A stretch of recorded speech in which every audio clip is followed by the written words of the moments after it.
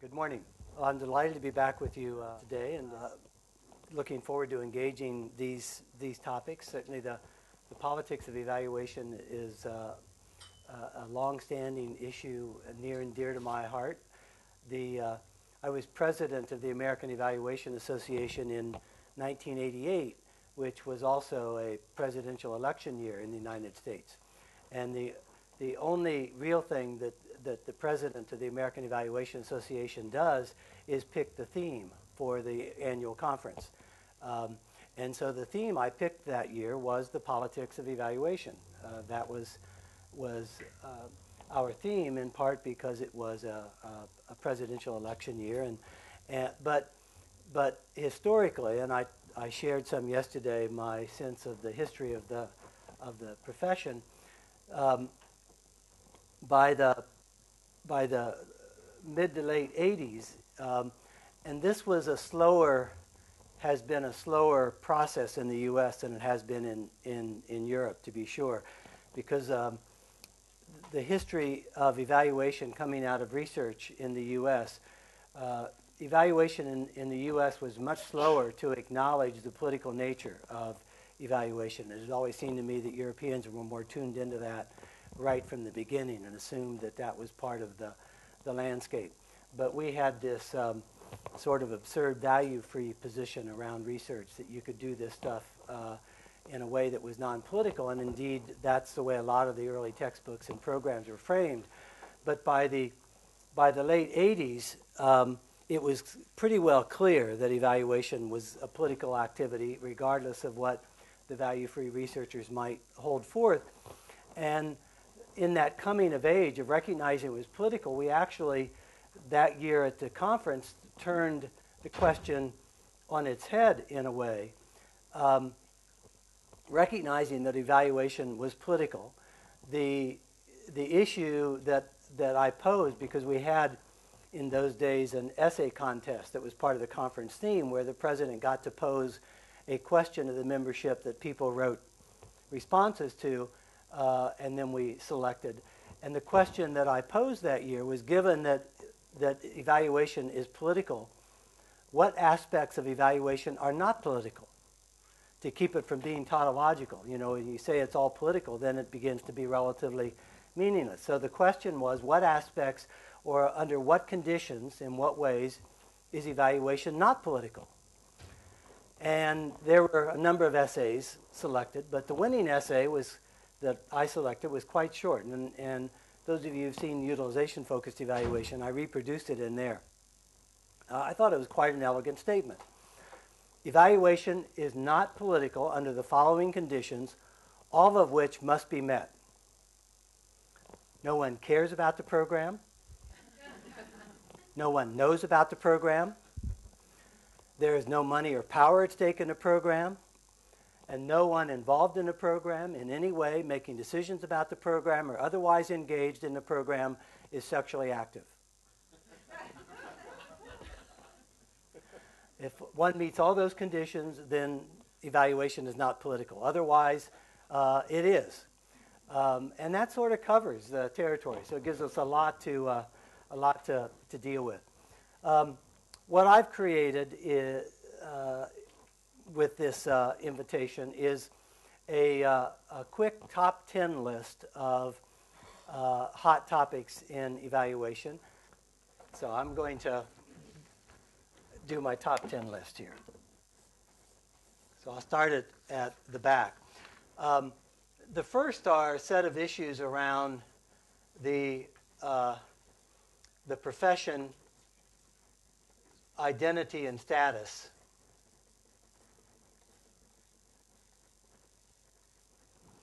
Uh, we, uh, we had a um, major conference uh, in the last summer uh, honoring Michael Scriven's contributions to evaluation. And um, you know, he's the one that gave us the formative summative distinction that set the stage for the discussion yesterday. But Scriven has been uh, on the forefront of pushing evaluation uh, as a transdiscipline um, arguing that there are a small number of, of core transdisciplines that every other field depends on to do their work. Philosophy is the mother discipline. Um, statistics is a transdiscipline that virtually every field uh, uses. Ethics is a transdiscipline. And he argues that, that evaluation is a transdiscipline because every other discipline depends upon evaluation. Peer review is, a, is an evaluation process, uh, one that's actually quite corrupt and not very valid or reliable, uh, but is at the core of how we determine what knowledge is.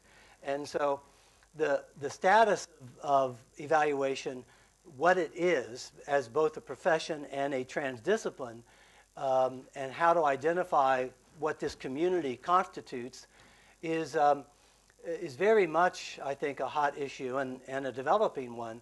Um, in, the, in the 1970s, the first three big evaluation associations, the Australasian, Canadian, and American, were founded. Uh, the European, uh, the national, some of the national associations in Europe uh, emerged in the 80s, and the European Society toward the end of the 80s.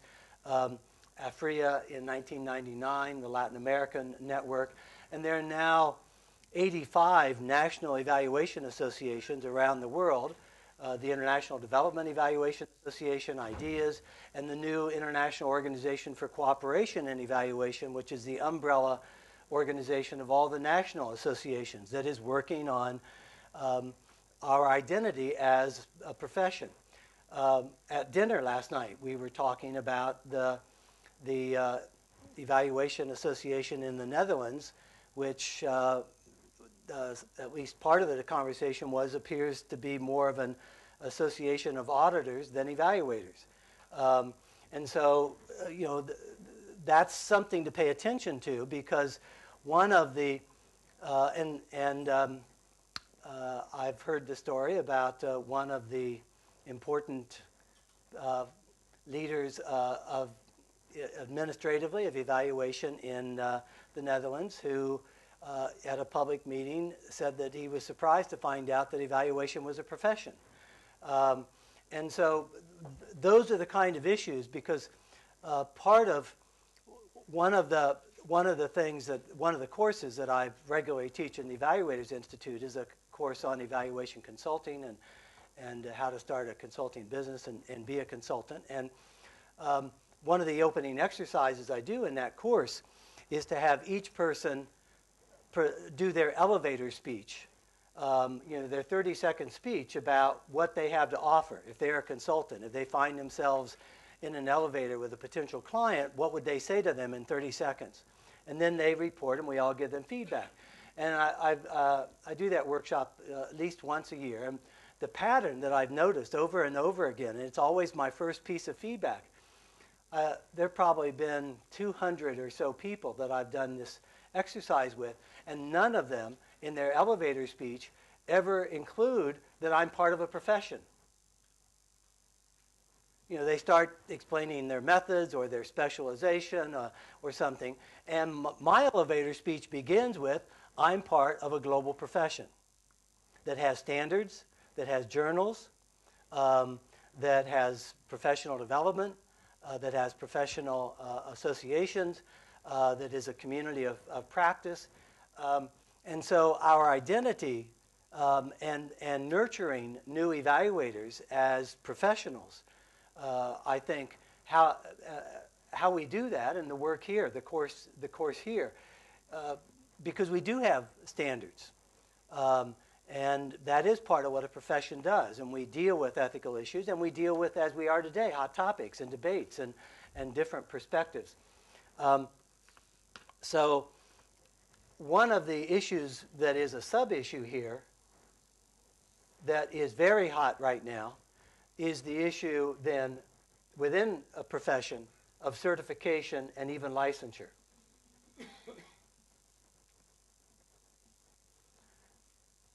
Because unlike auditing, um, we have no exam. We have no way of deciding who is in and out. People self-designate. And so, as you, um, as you probably know, uh, Canada has initiated, the Canadian Evaluation Society has initiated a very interesting voluntary certification program around essential skills. Um, New Zealand is doing the same, and Japan has a certification uh, program for evaluators uh, based upon work around uh, what uh, have been identified as essential skills. And so in Canada, Japan, and New Zealand, they're all using a essential skills framework uh, that my colleague in Minnesota, Jean King, has been heavily involved in researching that is attempting to really define what it means to be a professional. Uh, and one of the contributions of this framework is making it clear, unlike the beginnings of evaluation, um, at least uh, in, in my experience, began primarily with a heavy uh, emphasis upon uh, methodological expertise. Of the six essential skills, methodology is only one of the six. So that interpersonal communication skills uh, becomes very important. Uh, ethical sensitivities as an evaluator is a whole essential uh, skills. A sense of professional identity and adhering to standards becomes one of the essential skills. So this to me is, is um, a very hot topic, and it sounds like in the, the, the context of the Netherlands, how you take ownership of uh, and of what it means to be a professional evaluator uh, can be quite important. And it's, it is something that very few policymakers recognize as a profession, don't appreciate uh, the global uh, nature of it, and the large numbers of people uh, involved in this. And so I think that that's a hot topic. Um, a second comes out of the work in utilization that I've done uh, with colleagues over the years, the attention to use. And the hot topic for me here is uh, we predicted, when I first started writing about use in the 1970s, the concern was uh, the, the almost complete lack of, of use and inattention to evaluation. It's a very small field at that time. It was really before the profession emerged. But in the very first edition of utilization focused evaluation, um, based upon conversations with people like Marv Alkin and Brad uh, Cousins and others working on utilization, we predicted that um, if you think about a matrix that has use and misuse, we predicted that if use went up, misuse would go up. And we're seeing that at a huge level right now. And it relates to the professional issue because one of the hot issues for the profession is what do we do about the misuse of evaluation? Do we have a, a role as professionals? Imagine in the Netherlands context, as regularly happens certainly in, in the U.S., that that some government official um, substantially misrepresents an evaluation report, uh, selectively cherry picks certain statistics and ignores others, provides an imbalanced view, or as U.S. politicians do, simply outright lie about what the results are. Um, does the profession, is there, have the capability or the responsibility to create some kind of public response to dramatic misuse. I mean, it's so widespread, we, we'd all be full time to try to take it on in any meaningful way. But when does something arise to that occasion? The U.S., the very controversial, but, but AEA has now taken official stands on two major um, uh, issues in uh, public policy in the U.S. One is the misuse of mandates for randomized controlled trials uh, in government RFPs, and the second is high stakes tasting, testing and the negative effects and the distortions about uh, what can be done with testing. Both of those have been very controversial positions within AEA, but AEA has gone on the record about those things. But the bigger problem becomes the widespread, as, uh, indeed, as use has gone up, um, misuse has gone up, which relates to a, a third trend that I know is a part of our discussion, was a big piece of it yesterday. And it is the, I would call it the politicalization of accountability.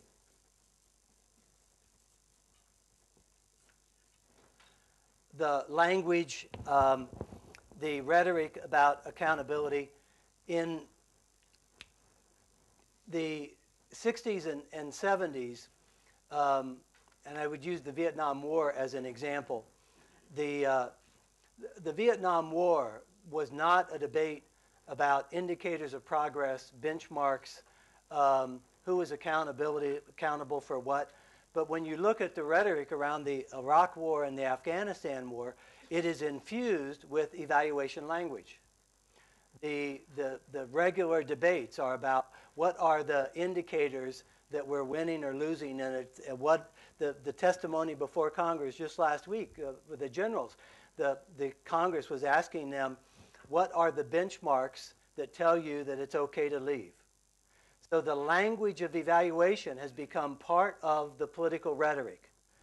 And the danger here is what happens when language becomes part of the general culture and part of political rhetoric is it loses most of its meaning.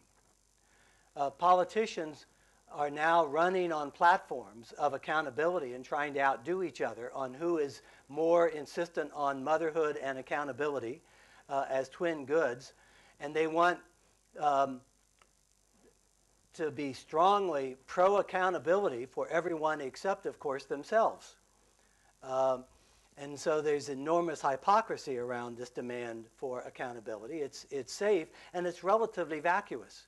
So, going back again to our responsibilities as, as professionals, how do we keep this terminology being meaningful and not just political rhetoric? How do we provide some, some substance which includes attending to the misuses of it, and some historical substantive knowledge about the boundaries of accountability, what's possible and what's not possible, um, and what we've learned about the way in which accountability uh, gets corrupted.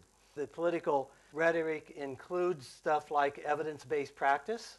And so part of the politics of this is that everywhere I go, anybody that has a belief system about anything calls it evidence based.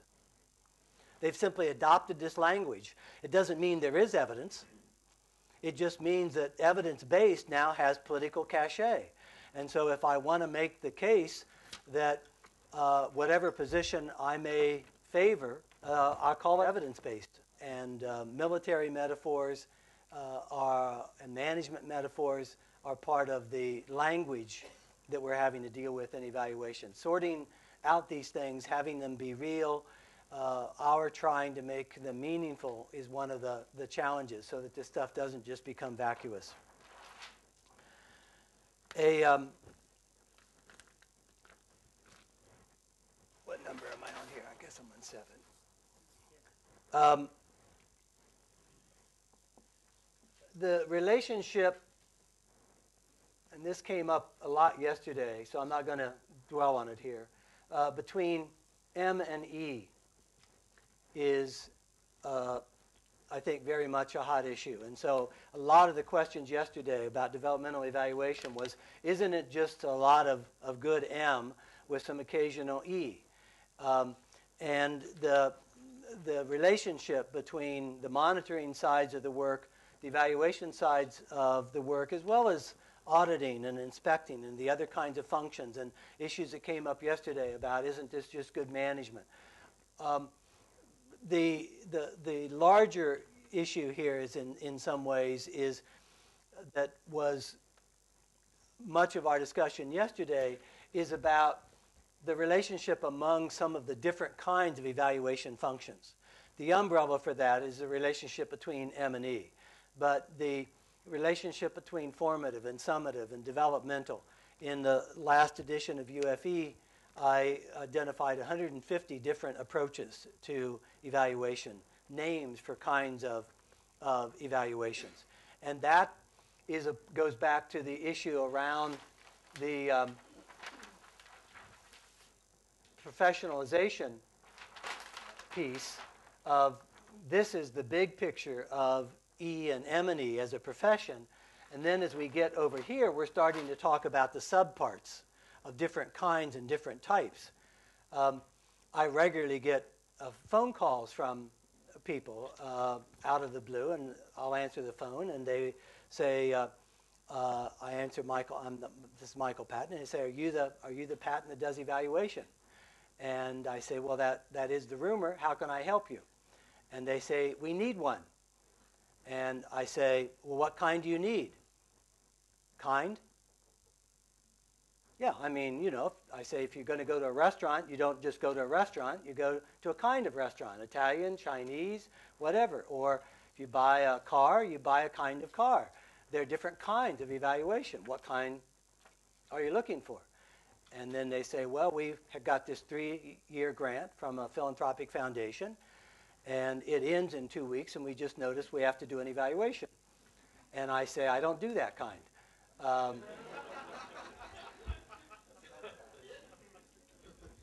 Uh, but this whole relationship among different kinds, I think, is epitomized in some ways by the, relation, uh, the issue about the relationship between M and E.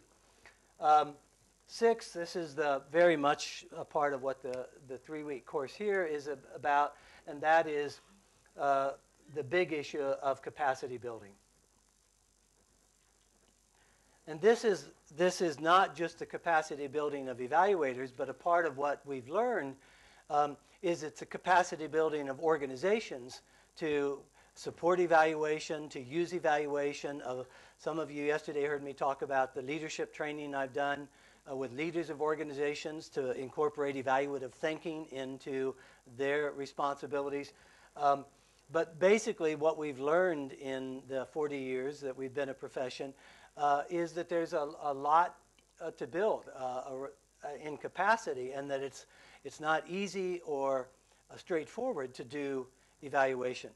Uh, we had a, t-shirt slogan bumper sticker contest at AEA one year, and the winning slogan uh, was evaluation is an unnatural act.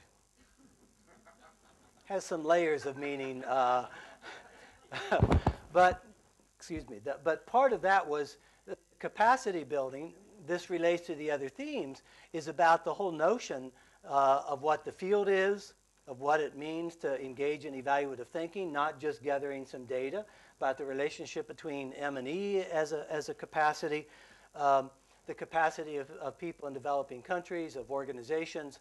All of this is, is a huge hot issue. Um, five is one that's near and dear to my heart, and I think we're just uh, beginning to understand the implications of this, um, is attention to process use. The, um, as I noted yesterday, the, the, I introduced the language of process use in the third edition of Utilization Focused Evaluation in, in 1997. And in the last decade, there been, there's actually been a lot of research now on process use and dissertations being done on it and people uh, looking at it. Process use has to do with the way in which the evaluation process uh, has an impact on the uh, effectiveness of programs, quite apart from the findings. Our, all of our early work was on the use of findings, and then we began to find um, that when you go through a logic modeling process with with an organization or program. It has an impact before any data are ever collected. When you select indicators under the notion of what gets measured gets done, that becomes a focusing exercise that tells people what's important and it affects what they what they activities they take on them, what priorities they set. Well, those are examples of, of process use. And it relates to capacity building uh, in the sense that that as we build the capacity of organizations to engage in evaluation and in M&E more generally, we're then doing some of the things that came up yesterday. We're looking at the linkage between uh, more effective management and more effective evaluation. The leadership training that I did around uh, reality testing, results oriented, accountability focused leadership was capacity building with a heavy emphasis on process use. Uh, the work that, that uh, a lot of the work that I've been doing with uh, philanthropic leaders in the U.S. is around strategic thinking from an evaluation perspective. And that really has a lot more to do with, with process use, attention to the ways in which thinking evaluatively has an impact quite apart from the findings. It doesn't devalue findings, but it acknowledges that we bring to the table a way of thinking about problems, analyzing things, framing things that has a, an impact for good or bad. That's part of the issue.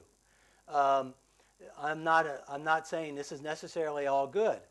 One of the, one of the keynotes at AEA three years ago by Sulley Gariba from Africa, who was uh, the president of AFREA at that time, was African ways of knowing, in which he was concerned that there was a narrow definition of evaluative thinking that devalued certain other cultural kinds of perspectives. Um, and indeed, one of the trends I should note within professional identity is the cross cultural piece of this. AEA, as many of you would know, just released this uh, this year, after six years of work, a statement on cross cultural competence to engage in evaluation. Uh, and with uh, an acknowledgement that, that there are inherently cultural issues involved in being an evaluator, which include issues of power and, and cultural difference, and that part of capacity building then is attention to cultural issues and that those cultural perspectives are part of understanding what is generic evaluative thinking and what's quite specific contextual evaluative thinking as a, as a hot issue. So we're getting to the end of the list here. Number four um, is, a, is a, I think, quite a huge trend and um, uh, one that's, that for the younger folks will be less obvious than for us old timers who came from the days when evaluation was represented by big, thick printed reports. Um, and this trend is, is captured by the title of the book that Nicoletta Stame, uh, the, uh, from Italy, and, and Ray Rist did in a book called From Studies to Streams.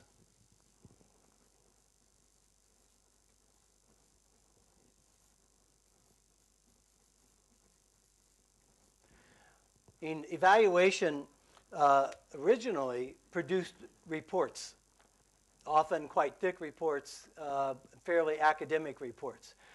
We're on the cusp of going out of the report writing business, uh, at least with a few exceptions. There will still be some big reports, but we're much more, and this is again the relationship between M and E, in from studies to streams is about ongoing data collection, real-time data collection. It includes the use of the internet, social media, uh, the whole way in which uh, the, the speed of information, the rapid feedback, multiple data systems, and data systems that aren't controlled by evaluators. Um, uh, harvesting data from many uh, different sources, official and unofficial sources, so that the, the information age and all the different sources and, and types of information and the capacity to gather information from the internet and the ways in which new techniques are, are emerging to uh, that include the uh, search engine uh, uh ways of, of coding information and tracking things and, and finding out what's, what's going on is substantially changing the way in which we we deal with, with data. Uh, and as well as simply what is demonstrably, uh, certainly in the West and becoming a worldwide phenomenon of ever increasingly short attention spans. And that, that's, there's, there's interesting, even neurological research on the way in which the information age is affecting how our brains organize information and the incapacity to focus which means not being able to read a big report. And folks are now taxed to, and, and find it a stretch to read a one page executive summary. You know, give me three or four bullets uh, and I'm done with this. Paul? I was just going to point out the connection, there's a bit of a connection there also with the increasing focus on visualization. Well, that, that's a separate trend, but, but it is connected. It's another one, yeah, it's another one that I was gonna, going to, um, uh, to mention. Um, I got that as number two, so, uh, but, but very much connected. You're anticipating it. Let me finish off here. Um, this, um, this one gets to the, is a version of the rigor piece that we're going to come to later. And uh, it's the, uh, the, the way in which the rigor piece has changed in, in my lifetime is that I came up through what in the early days and was an active participant in the, the qual uh, quant debates. Um, that the qual quant debate is really pretty well gone, uh, and the uh, recognition that both qualitative and qualitative uh, data are, uh, are, important, and the trend toward mixed methods, um, triangulation, all of that. But what it's left in its stead is the issue of attribution. That's where the debate is now. It's not about qualitative and quantitative. It's about the relative importance of attribution versus contribution. Um, and, you know, within this is all the issues of uh, epistemological issues about the nature of knowledge, uh, issues of, of control, about how knowledge is generated, uh, about what is valuable, uh, all the gold standard stuff. Um, and so the, the debate has, has changed, and the, uh, it, it becomes important to recognize that these things do morph over time, uh, so that, that the divisions probably around qualitative and quantitative reached their height in the early 1980s, and for a while were actually quite nasty and quite personal. There's some very, very nasty exchanges uh, in, in the literature where, where people's uh, genetic heritage were questioned uh, in, uh, and their, their basic mental faculties were challenged to think in, in certain ways. Um, that reached its height when Lee Sechrest and Yvonna Lincoln were subsequent presidents of the American Evaluation Association. Lee was a hardcore quant, Yvonna Lincoln was a hardcore qual, and it was nasty uh, and very personal. So um, from that point on, in fact, I think the nastiness of that uh, was so embarrassing and, and shocking to people that that began to pull us back towards we've got to get less crazy about this stuff. And it's not a matter of, uh, of basic personal uh, integrity and, and intelligence, uh, but has to do with some other stuff.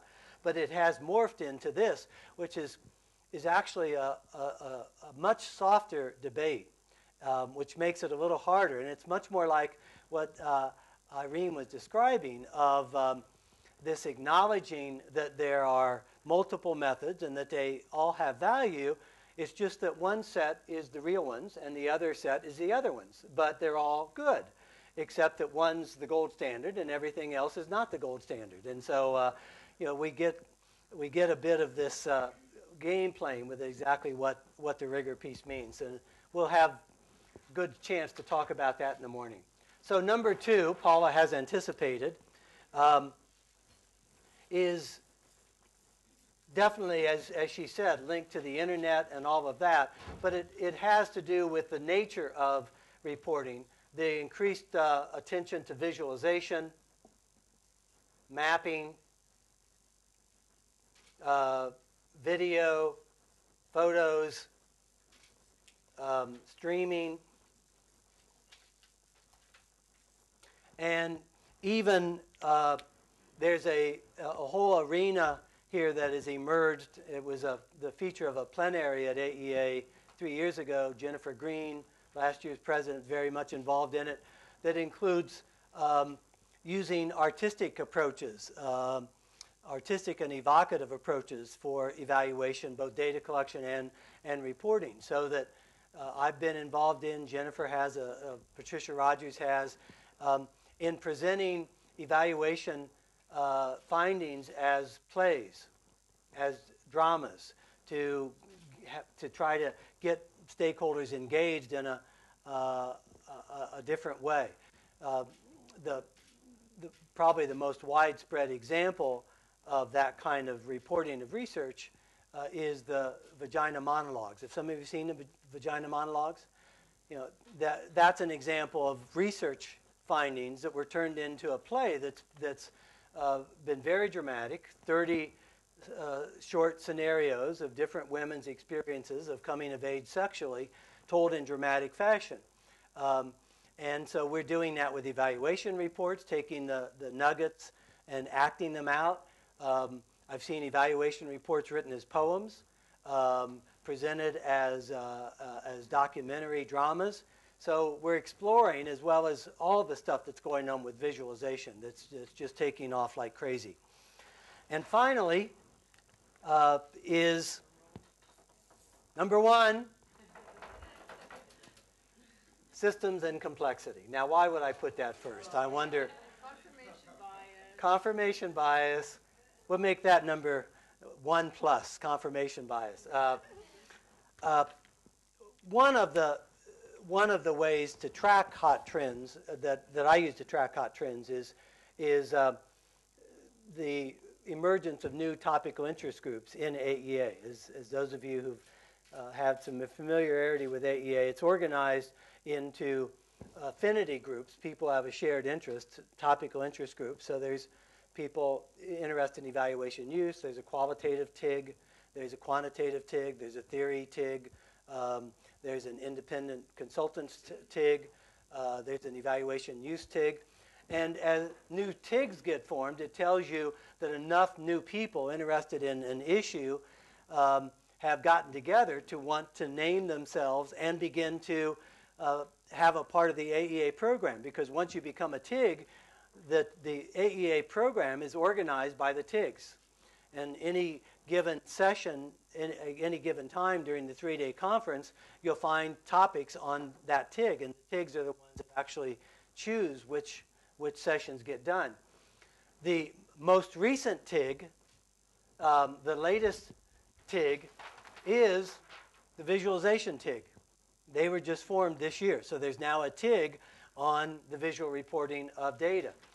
One of the most recent uh, TIGs is the systems um, and complexity uh, TIG. Uh, it's probably four years old. There's a um, a new TIG on advocacy evaluation. I know there's some folks working with that here, and um, that became a big enough group to, uh, to, to come together. So that's one of the ways to kind of track hot trends. And we spent yesterday talking about this, so I won't belabor that. But a part of what's what is a, uh, within this that I think is germane, worth mentioning, is that this does direct us towards different units of analysis. That is, as I said over and over yesterday, that evaluation grew up in the projects. We have a project mentality, a kind of bounded system mentality. Our methods and our conceptualizations and our logic models and everything else pretty much come out of that. And so, what systems and complexity has partly done is both a response to and is driving thinking about other units of analysis, which include changing systems uh, as a unit of analysis. Uh, and as I mentioned earlier, uh, I did a, a, volume of new directions in evaluation, which is another way of tracking trends. Patti Patrizi and I did a volume on um, evaluating strategy, where we treated strategy as a unit of analysis. And that was a response to the CEOs of major philanthropic foundations and their directors of evaluation. We have a, a group that gets together 18, every 18 months of major uh, directors of evaluation for the large philanthropic foundations, and that's always organized around the issues that they're facing. And the boards of these foundations and their CEOs were no longer interested in evaluation of grants or even clusters of grants. They were all going to workshops where CEOs were supposed to uh, articulate and boards were supposed to approve strategies, and they wanted to know how do we evaluate the effectiveness of our strategies. Strategy is a different unit of analysis. And that's what the big picture folks were asking.